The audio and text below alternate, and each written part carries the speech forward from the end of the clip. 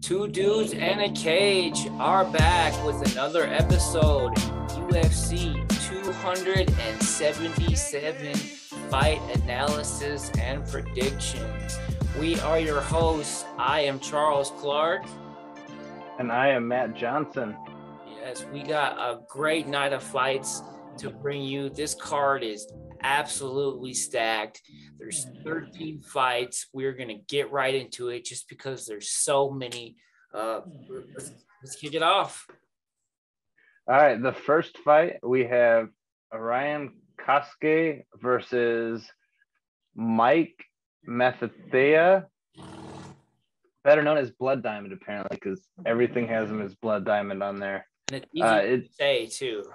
Yeah, this is his debut with the UFC, so not much to uh, go off of in previous fights like there is with Orion, but I am gonna go with Orion on this one. You know, grappling basis, he does have some power, and from what I've seen, it looks like the Blood Diamond is going down in weight.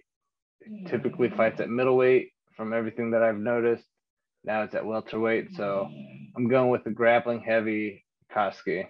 Nice, nice. Good quick pick. Yeah, Cosce, I, I agree. He's a grappler. Uh, in my notes, he's powerful. He's a wrestler. He likes to grind. Uh, he pressures you forward. Um, he does have a little bit of a chin work. Uh, um, I think kind of like he's known to maybe have a lower fight IQ just because he tried to uses his strength over technique and give up some positions sometimes. And then Blood Diamond, he he's only got like three MMA fights, but he has uh, like a hundred kickboxing fights. So he has kickboxing experience. Uh, um, and he's been training at City Kickboxing with Izzy and Volk. Um, this is a cr- classic strike versus grappler. Um, you know, it's really it's really hard to say. Like this guy has been training at City Kickboxing mm. with with two champions at, at a high level. So he, he should have some good MMA experience in with this kickboxing.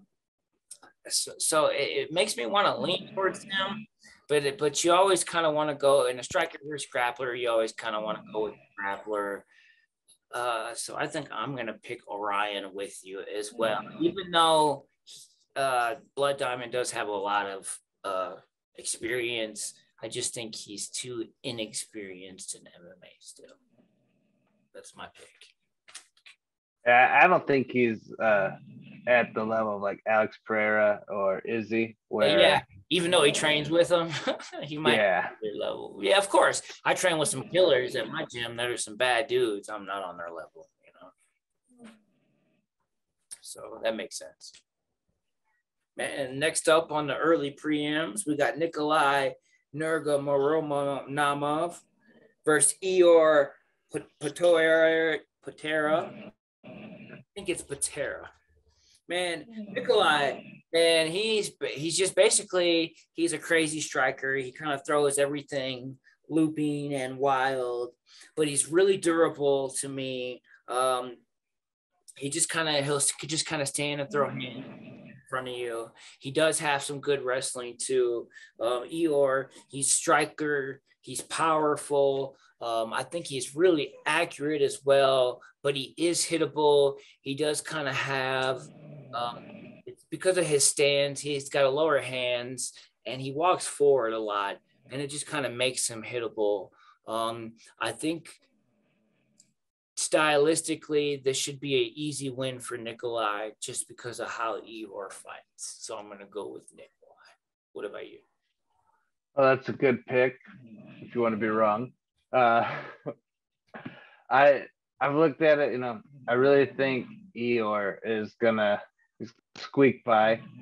He is the taller fighter, but he does have a disadvantage in reach by three inches, which is weird because he's three inches taller.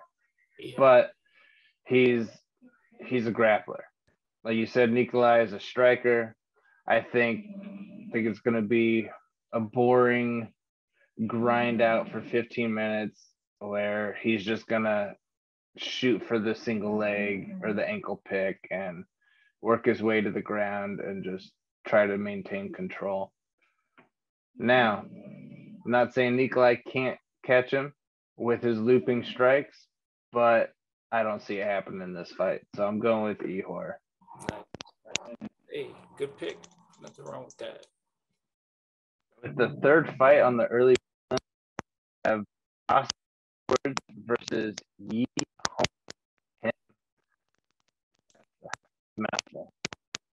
I think this is another short notice fight. Somebody stepping in. Edwards is a replacement.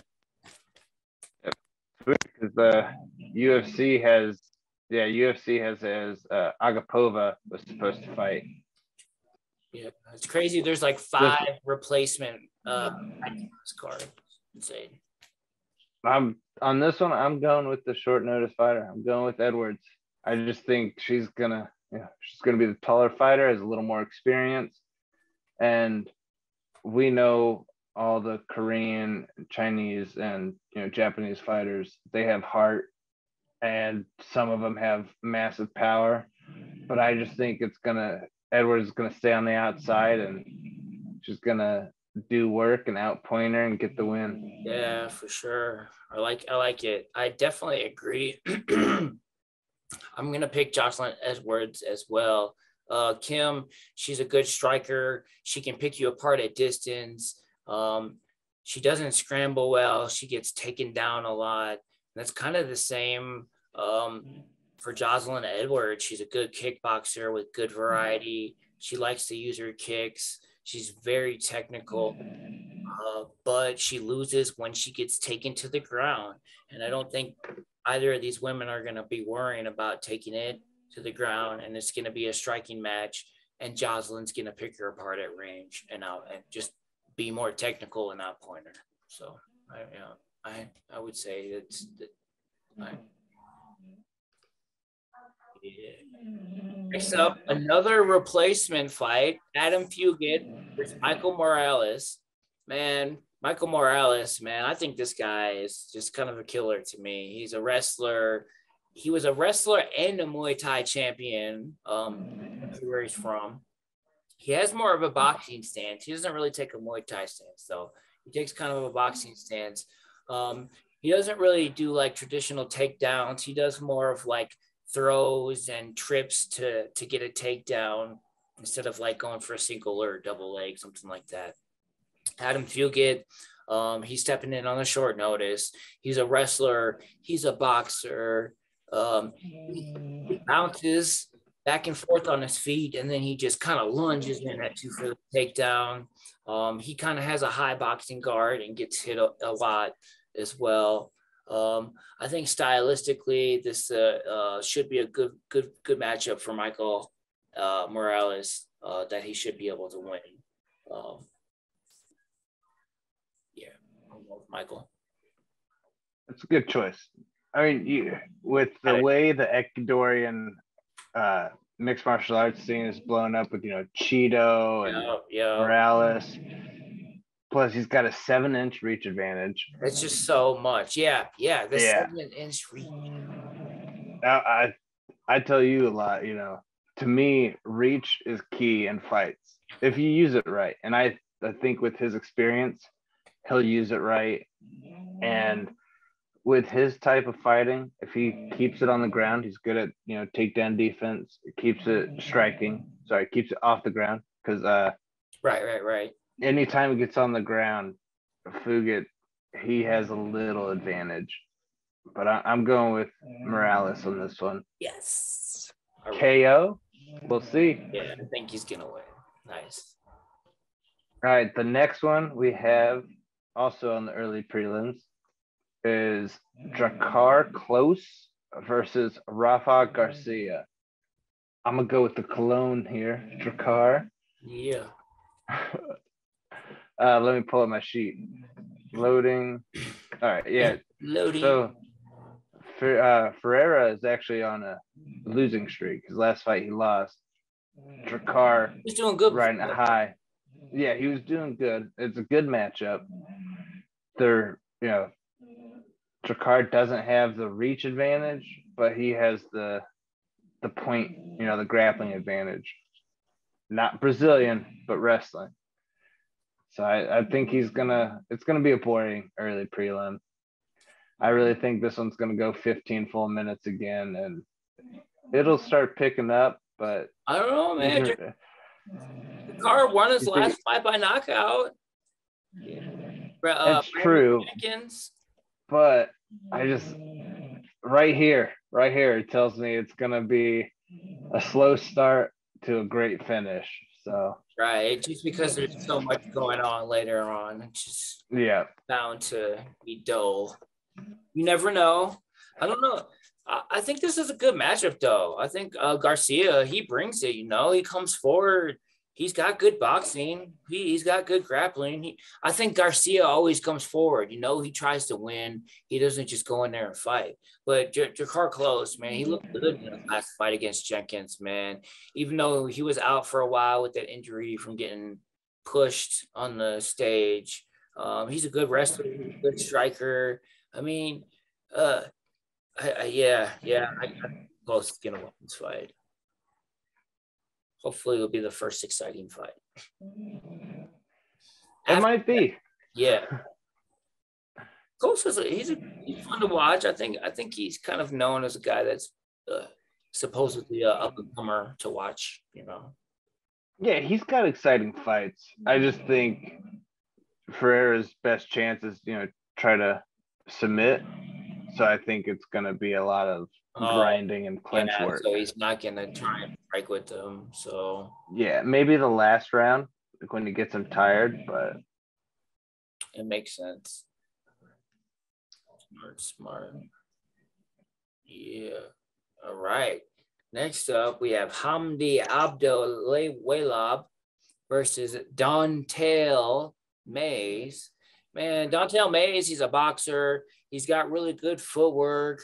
Man, he throws everything like with 100%. He throws super hard. Uh, he, he's a decent wrestler as well. Hamdy, man, he, he's coming in on short notice. Um, it's his UFC debut. He's an Iranian Olympic wrestler. Um, um, he does have good striking that he's like kind of fallen in love with. Hopefully, he has decent fight IQ and he doesn't get suckered into a, a, striking match with this guy and forgets to use his wrestling. If he fights smart and uses his wrestling, um, you, you, know, within a good amount of time, and you know, fights a good MMA fight like he should, I, I think Hamdy should win this fight. That's interesting. You know, I was I'm gonna say I was really excited for Justin Tafa. You know, right? training training with Tuivasa with Mark Hunt very exciting. Don'Tale Mill Mayes. He reminds me of uh, Deontay Wilder. Not very technical, but he has that power, and he can make you pay to the last second. Yeah. And I think I think with that, I think Hamdy. I mean, coming from Iran, you know, being Iranian, probably the pressure's different level. I'm not saying it's going to get to him. It is his debut. It's going to be different, though, for sure. Yeah. Yeah, I believe it's his first fight on U.S. soil. Yeah. So, Oof. you know, and Dallas is probably not the best place to get your UFC debut. You're welcomed. Yeah. Yeah. So I, I think with that, I think Dante Mill, Mayes gets. I think he gets it done. Yeah. And I, yeah. he he has to be good on the grappling defense because it's going to be a, a Ben Askren style. I think he's going to come out and go for the takedown, and Mayes just has to keep it standing. And I think he gets it done, gets that KO. Right. Can Hamdy keep his composure, or will he fall into Don'Tale's composure? No.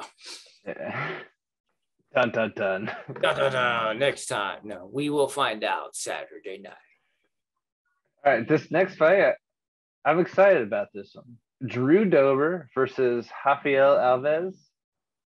Uh, Drew Dober's from Nebraska, went to Millard Millard North, so I'm going with Drew Dober, 100%. Um, he, I know they always say that he is like a wrestler background. He's actually more of a Muay Thai background. He does have good wrestling, but he never like wrestled in high school or anything. He he's one of those guys he's been doing UFC or MMA since he was 15, 16 years old, doing Muay Thai fights, amateur fights.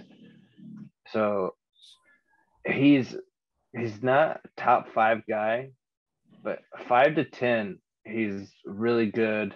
And you know, lost to Dariush, keeps it interesting. I just think he's gonna use that power in his left hand, and he's gonna make a fun fight.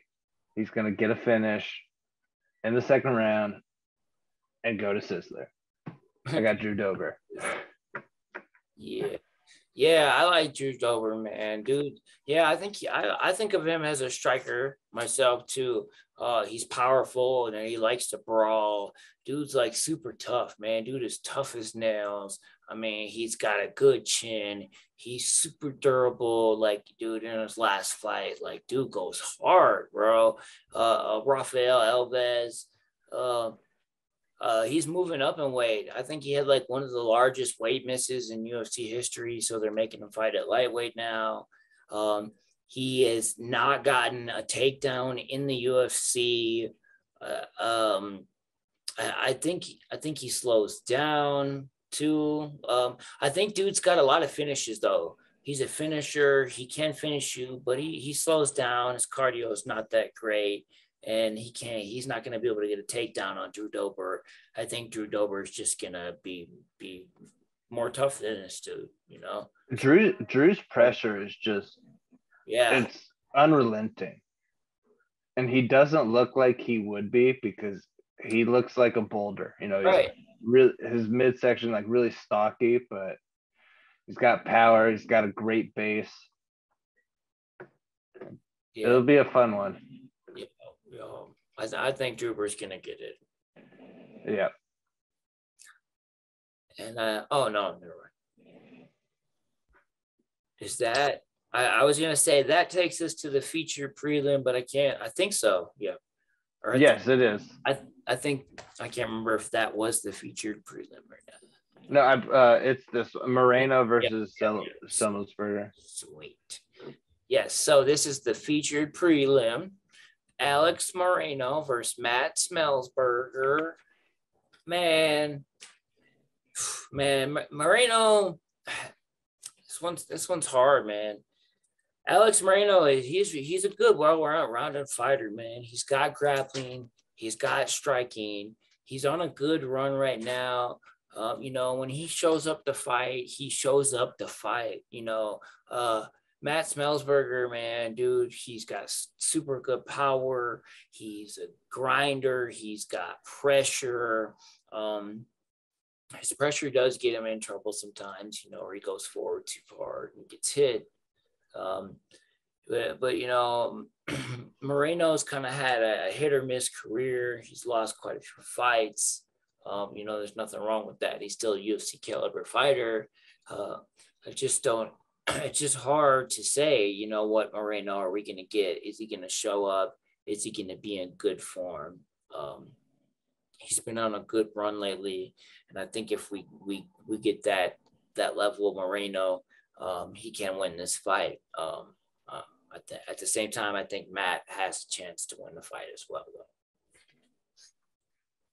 Two great nicknames, by the way. The Great White Alex Moreno and Semi the Semi the Jedi, Matthew Semelsberger.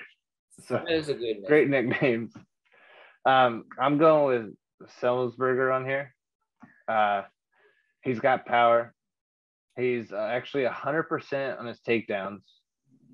Now, could be one takedown, so, but still 100% is 100%. He he's more of a striker though, and he he's well rounded, just like Moreno. Less experience, but also less battle tested. And I think that's what is going to give him the edge on this one. I think Moreno, you know, he's he's not coming up like Semelsberger is. He's hit his peak. You know, he's maintaining his level of talent, but he's he's older in the UFC's eyes. For sure. And so I, I think, and we share the same name. I think uh, Matt Semelsberger gets it done. I gotta go with gets the win. I hear you. That makes sense. All right, so Perez and Pantoja, that one got moved up, or did yeah?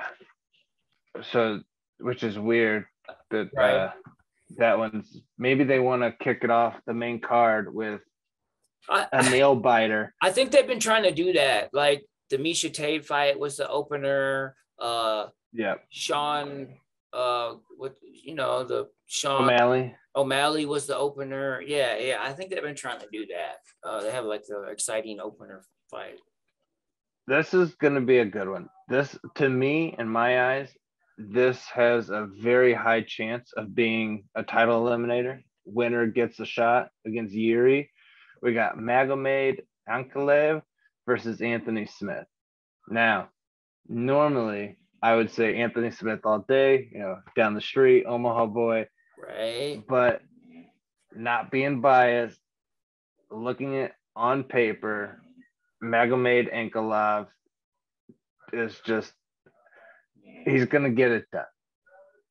I know, you know, Anthony Smith has had trouble with like Rakic with takedowns, Glover with takedowns. Yeah, yeah. He has, even though he has 51, 52 fights, his takedown defense for chain wrestling isn't the best.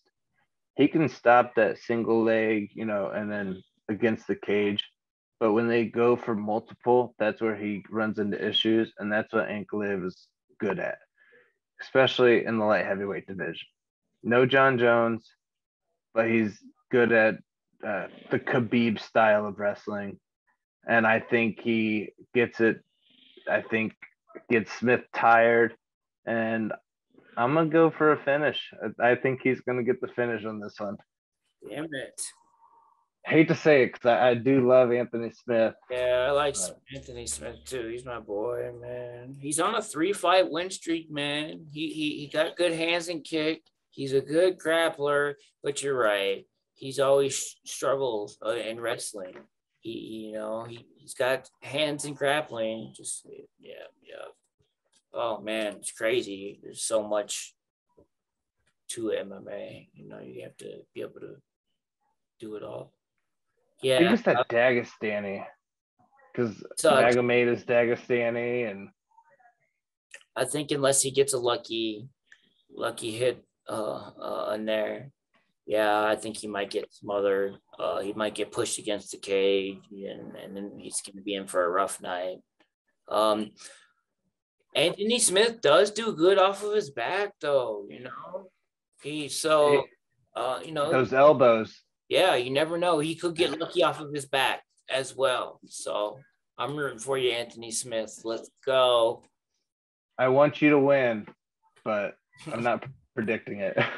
but I'm not gonna bet any money on you, bro. Sorry. yeah. Come on our show. Next up, we have Alexander Pantoja versus Alex Perez. Man, this fight has exciting written all over it to me. Um, Alexander Pantoja, man, he's super fun to watch. He's a grappler, but he still has good power at the same time. Um, his strikes are more simple, more ones and twos, but they're effective. Uh, Alex Perez, he's a wrestler. He's got amazing low kicks. He's got solid combinations mixed in with good takedowns, plus 87% takedown defense. He is on a two year layoff, though. So that does give me a little bit of worry. Man, the only person that's taking him down is Joseph Benavidez. And just for, you know, I, I think besides the layoff that worries me a little bit, I'm going to take Alex Perez to win. This. It's interesting.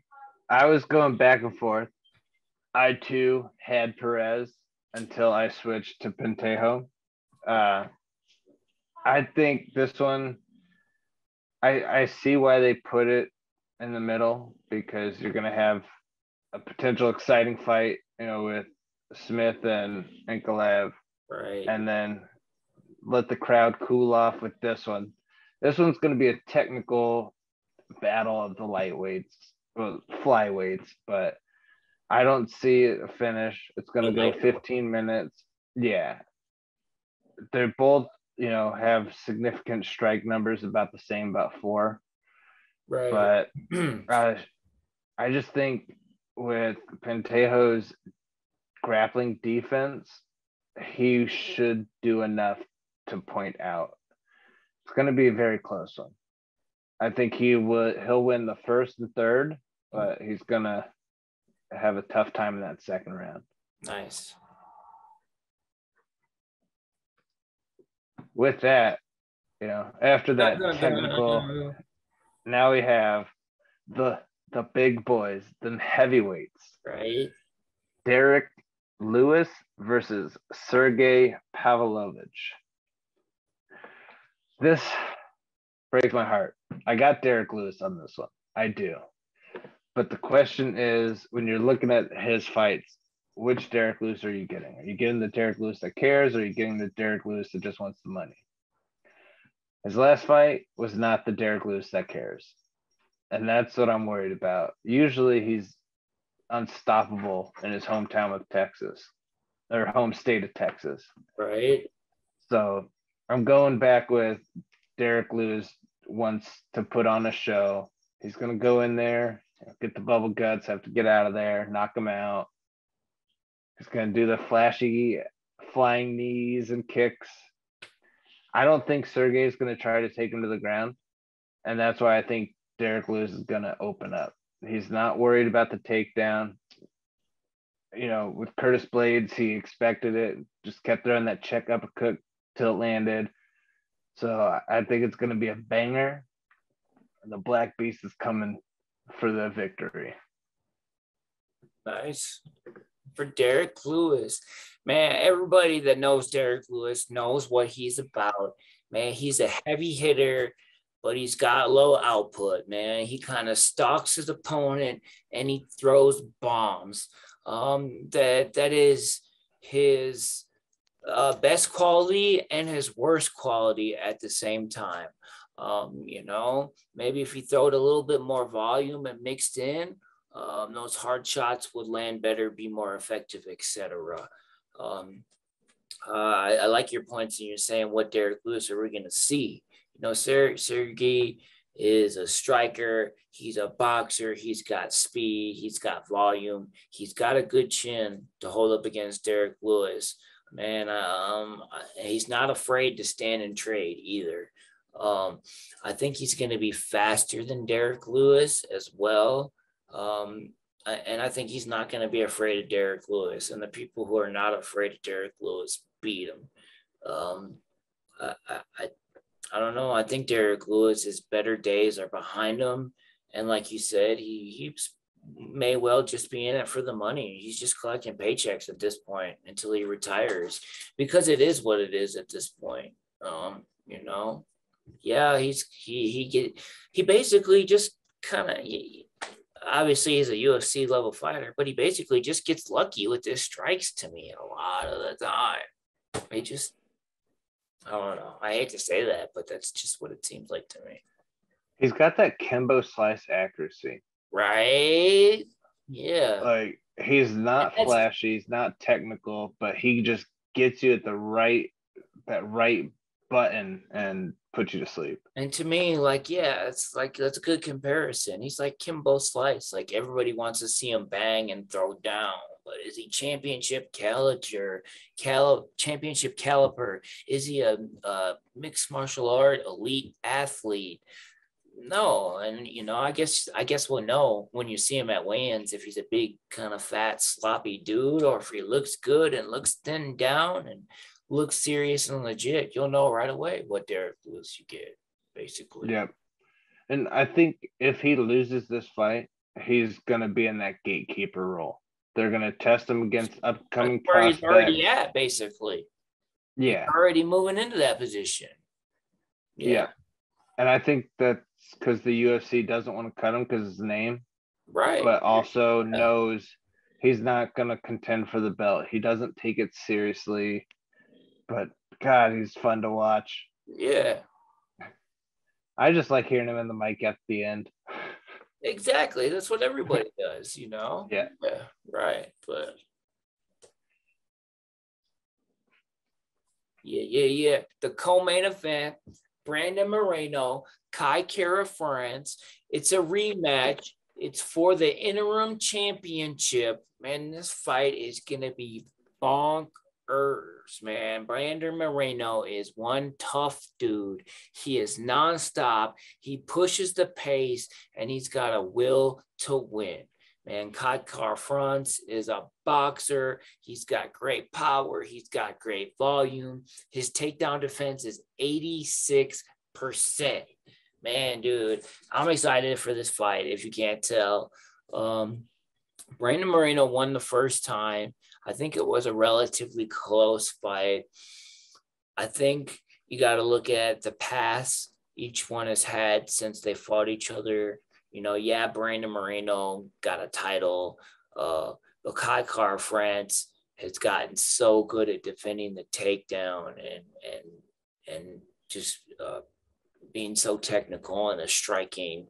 Um, and uh, I, think if he keeps his head together like he has been, Kai Kara-France should win this fight. He's just he's on a good run. He's he he's just he wants it, man. You can just see it in his eyes, man, that he wants this more than anything else. That's why I think he's gonna win. You know, I will start by saying Kai Kara-France has a chip on his shoulder. Yeah, They they gave him Cody Garbrandt thinking that they would just let Cody feed and get that title shot. And Kai, I doubted him. I didn't think he. I thought Cody was going to get it done. He he surprised me, KO'd him. You know he is a boxer. Moreno is a wrestler. I got Moreno on this one. I just think with his championship abilities, or not abilities, but experience, you, you know, the draw, the win, the loss. yeah, I kind I thought he he won that last fight. I think this is a great matchup. I think if Moreno has trouble getting Kara-France to the ground, Kara-France is gonna he's gonna win. I'm not gonna say he's gonna finish him because Moreno's got that, you know, he's got that Mexican boxing style in the UFC. Pushes forward, but he doesn't block. And that's what worries me. yeah, yeah. He blocks with his face and not his hands. But I'm still going Moreno. Still going. I think it's gonna he's gonna be able to get him down and pressure him. And it's gonna be an entertaining. Yeah, yeah. But if he doesn't get him down and he gets hit enough time, he's getting knocked out. There's that chance. Let's Third go. round KO.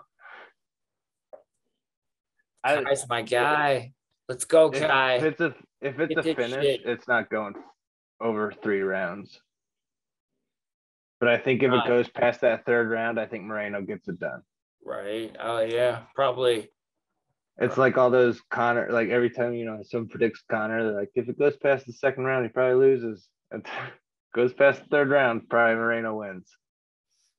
Those levels. Cardio is looking good. Before, where he would get beat in the past, though, Kai Kara-France, you know, he would be able to stop the takedown in the first round, but not in the second and the third. Now he's Yeah. being able to stop the takedown the whole entire fight. Uh, so that could, you know, could make a difference. Oh yeah, if I mean if he can stuff the takedown, I think if he's able to do it consistently, like Moreno's gonna stop going for it and switch his game plan, and that's gonna be Kai Kara Francis in. But now, the main event, yes, the battle match. of the Venezuela vixen versus the lioness. The goat or the goat killer, what is it gonna be? We got Julianna Pena versus Amanda Nunes. Yes. This one for me is so hard. I didn't pay attention to the Ultimate Fighter. I don't don't really care about, you know, that's a lot for TV. It was cool. Was it? It was all right. Was the trash talk scripted like it seems? Maybe. Uh, never know. I just, I'm going with Nunes on this. I think she got in her head. Yeah, she needed that loss. It sucks because the six one for women is hard to get. Who knows if Shevchenko should have got that six one, but I think Nunes. I think she goes out there. She's you know got a chip on her shoulder. She knows she's fighting for and she's going to stick with her game plan. She lost because she got tired and she needed an out. But I, I don't think that's happened. I think it's going to go five rounds, and I just think Nunes is going to just piece her up. I hope. Nice. Yeah, I, I think you're right, man. I think that what it all boils down to is did she learn her lesson, man? You know, uh, she got tired in the first fight yeah, yeah.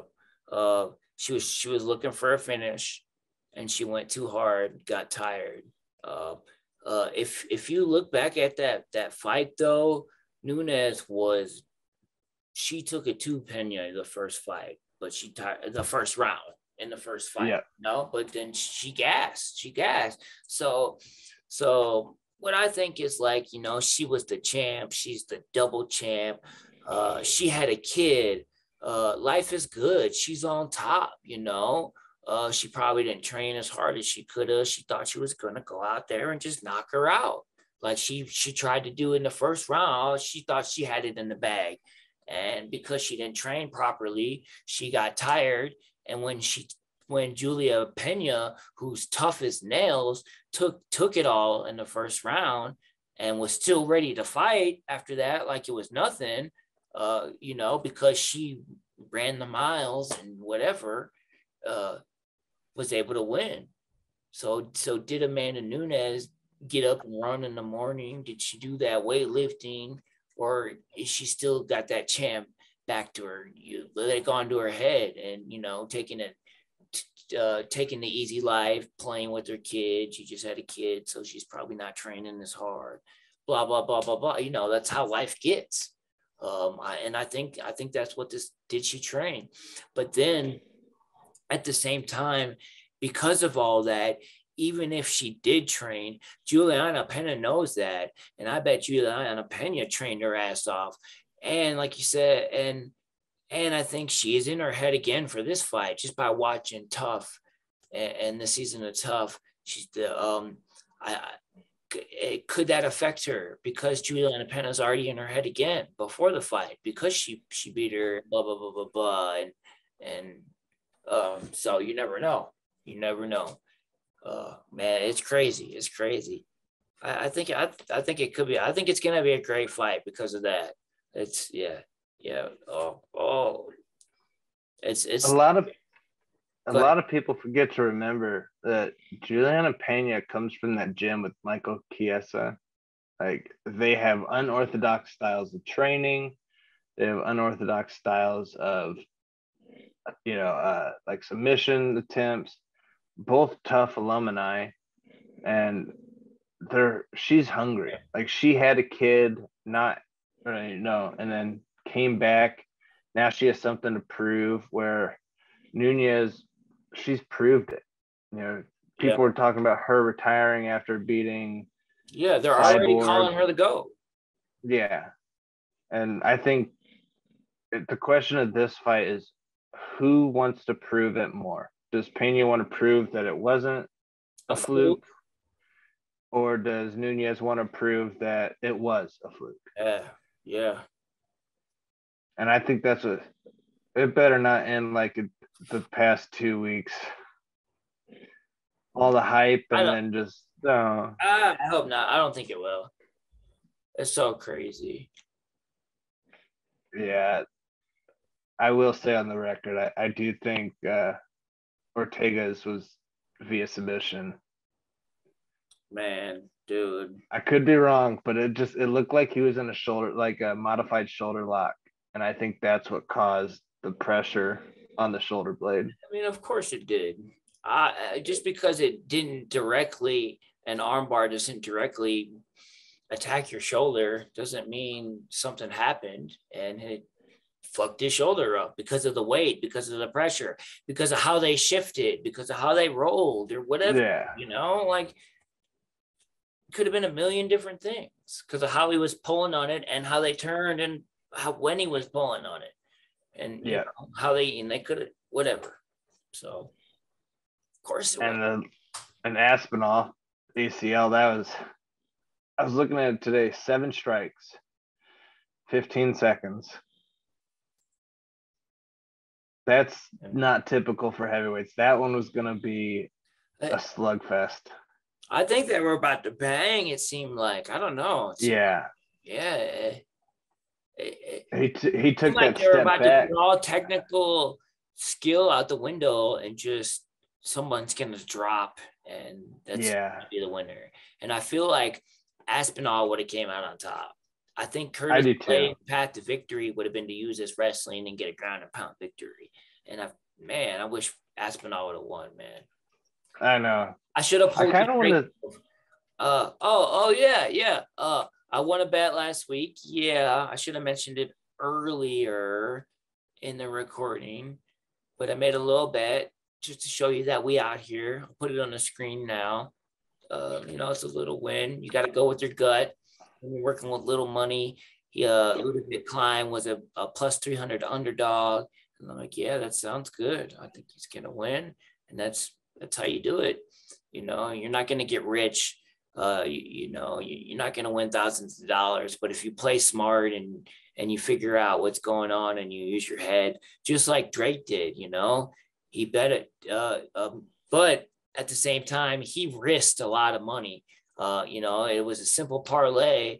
He risked two million, but he won a million and a half. You know, so when you're working with smaller amounts of money, you're still winning a lot. It's still a big win, even though it's not a whole lot of money. Uh, and eventually, those small little things that add up. And I really believe that's the way to bet. You know, when you always try to get those big wins, it always it never works out. It never does. It's crazy. It's okay to bet favorites. Yeah. You don't get that plus 400 victory, you know, like if you bet Anthony Smith straight up. But if you parlay, you know, uh, let's see, Pena's a favorite and Kara-France is a favorite. So you parlay those, you might, you know, you bet 100 bucks. Yeah, you might only win 140, but that's still 40 more dollars. Right. Right. Something to think about. Always keep your parlays to two or three people. Yep. Yeah, so you get four or five in there. That's might look like you're winning fifteen hundred, but whew, it's tough getting five right in the MMA. And it's it's like a known fact that betting companies get all of their money from parlays. Like it's like literally known that that's where all of their most of their money comes from. Because right, because the more you add on, the harder. I mean, it just it's mathematical. It's logical that you know makes it harder to win. Yeah. Hey, what do you think uh Paddy the Baddy? Not really, you know, with the mic, he actually said something, you know, emotional And and it's good. That's smart, man. Hey, great platform. I agree. Like if you, you know, do. man or woman, if you got a problem, talk to someone. Clearly, Someone's there to listen. Yeah. Especially these times right now. you know? Yeah. Yeah. Yeah. It's just, it's hard right now, you know. For sure. So always, always hit up your buddy. That's for Yeah. sure. Yeah. Yeah. I think he had a good point. I think more people need to, need to kind of do that. Hopefully he did it for the right reasons too, you know. I think so. I think because it was close to him, that close to the fight, it was a perfect moment for him. Right. Now I'm not saying that you know if it happened on a Thursday or a Wednesday and he didn't have a fight coming up, he wouldn't post something about it. But I just think for sure not not the timing was right, but the way that the unfortunate events happened, it was good for him to use this platform for that and not a Ric Flair promo. So yeah, yeah, yeah. And he's probably 185 right now. I seen his after eating pizza. Paddy the fatty. Yep. Still a beast though. Man. Yeah, he's doing good. He's doing good. Yeah. Yes, two dudes in a cage. Man, we was happy to present you this UFC 277 prediction and analysis. We'd like to get you back with some more cards for the numbered UFC events. We're getting more people to interview. Man, if you know somebody out there that's in the fight game that wants to be interviewed and on the show, hit us up and let us know. We would love to have you on. Uh, man, it's it's been another great time. Uh, if you like our content, if you like our analysis, you like our interviews, please like and subscribe. 90% of our viewers aren't subscribed to our channel. We'd love for you to subscribe to our channel just so we can, uh, you know, track who's watching us and and uh, get them points in. Uh, we'd love for you to follow us. So please hit that like and subscribe button. Thanks for tuning in. Thank you. If you have any ideas, post them in the comments. Yeah.